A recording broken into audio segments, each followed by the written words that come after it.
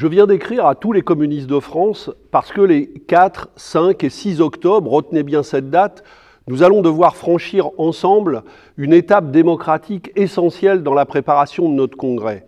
Choisir entre les quatre qui vous seront proposés la base commune de discussion sur laquelle nous allons continuer à travailler jusqu'au congrès. Nous venons de vivre une fête de l'humanité exceptionnelle et tout le monde est ressorti de cette fête plein de bonheur et plein de fierté.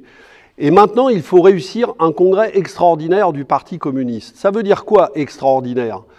Ça doit être un congrès de réinvention communiste, un congrès qui nous remette à l'initiative et qui nous rende utile à inventer avec la société des nouveaux chemins d'humanité face à un capitalisme qui est de plus en plus brutal, dangereux, décadent. Choisir une base commune de discussion, c'est quoi? La base commune de discussion, ça n'est pas le texte définitif. Nous allons continuer à travailler, continuer à enrichir ce texte jusqu'au Congrès. Choisir une base commune de discussion, c'est choisir une direction. Et il y en a quatre différentes qui vous sont proposées. Moi, je soutiens celle qui a été élaborée par le Conseil national du parti. Pourquoi? Parce que cette base commune de discussion, elle tient trois fronts qui, à mes yeux, sont indissociables.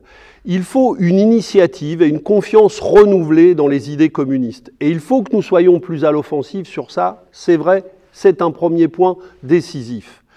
Mais il faut aussi de la novation et de l'audace. Il faut, par exemple, sur la question de l'écologie, de la révolution numérique, sur le féminisme, que nous soyons beaucoup plus à l'initiative et à la hauteur.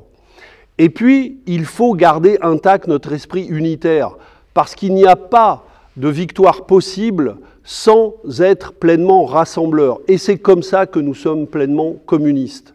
En avançant sur ces trois fronts, je pense que nous serons capables de relever les défis qui sont devant nous et de répondre à une interrogation qui s'exprime comme ça des fois dans la discussion du parti, une crainte de l'effacement du Parti communiste. Je pense que pour y répondre, eh bien, il faut tenir sur ces trois directions. Alors nous allons maintenant faire ce choix. Je vous invite à être le plus nombreux possible à participer euh, à ce vote.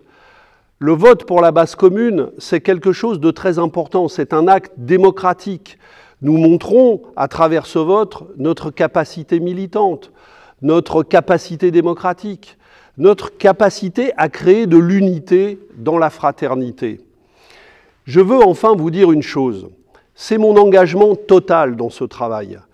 Parce que je sais qu'il y a des doutes, je sais que nous menons un combat avec parfois beaucoup d'obstacles et de difficultés.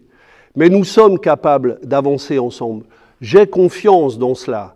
Et je pense que nous avons beaucoup de transformations du parti encore à opérer. Nous avons commencé à, transformer le parti de manière très importante. Mais il faut aller plus vite et plus loin ensemble. Et moi, j'ai envie de mettre toute mon énergie au service de ce travail, en donnant de la place à toutes les nouvelles générations du parti, notamment celles qui ont déjà pris leur place à l'Assemblée nationale, au Sénat, euh, avec notre chef de file aux élections européennes, Yann Brossa. C'est ensemble, avec tous les communistes, que nous allons construire les chemins d'avenir du Parti communiste. Je suis pleinement engagé dans ce combat et j'espère que vous serez nombreux à voter les 4, 5 et 6 octobre pour qu'on fasse ensemble, qu'on franchisse ensemble cette première grande étape démocratique pour réussir notre congrès.